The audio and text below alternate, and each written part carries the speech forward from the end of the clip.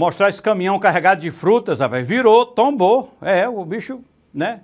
Virou mesmo de, de pneu para cima, agora à tarde, ali em frente à rodoviária de Timon, no Maranhão. O, o motorista disse que, que carregou o veículo na Ceasa, em Teresina, estava indo para o povoado Chapadinha, no interior do Maranhão, quando a carga escangotou e virou. Ele quase que, que sofre um acidente grave, né? Graças a Deus ninguém se feriu. Mostra aí, Sérgio.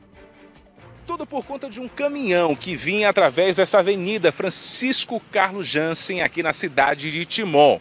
A informação é de que o condutor teria vindo da Ceasa com um caminhão carregado de frutas. Porém, a DM Trans, ao fazer uma análise prévia, constata de que há uma grande carga ou seja, ele ultrapassou o que deveria. O caminhão terminou tombando para o lado. Tem uma equipe que averiguar nessa situação e de pronto a gente já constatou uma imprudência do, do motorista do caminhão, né?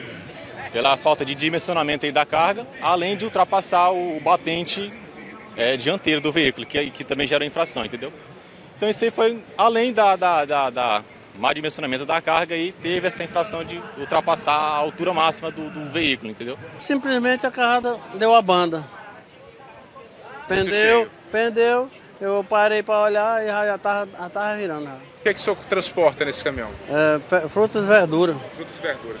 Qual era o destino? Chapadinho. O nosso papel primordialmente aqui foi evitar o saque da mercadoria, né? Estava aqui fazendo a segurança até chegar um novo caminhão e fazer o transbordo da carga para o novo caminhão.